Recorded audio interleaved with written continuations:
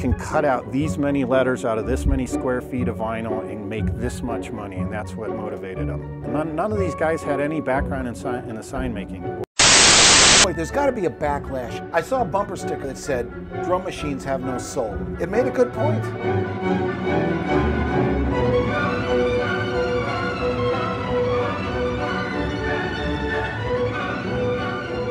I look all over the city. This is my city. On my gravestone, it's going to say, he died for greater opacity. I think that every human being has the capability of altering their environment for the better with their bare hands. Letters are really cosmic things. You can make any name in the whole universe. Old signs become art. I want to make signs that turn into art.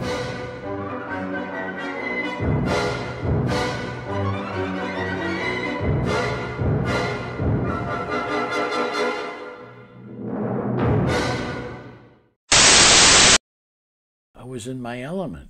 You know, this was this was it. Just to feel that, that brush and just a little bit of drag on the paint. You could make that brush do anything that you wanted to. I mean, that's power. It's real power. There are only about five companies, I think, in this country that still hand paint walls. The entire industry started changing over to vinyl computer printed billboards. Everything we do on this job, you got to be ready to take charge, get it done. It is a very human way to get the message out.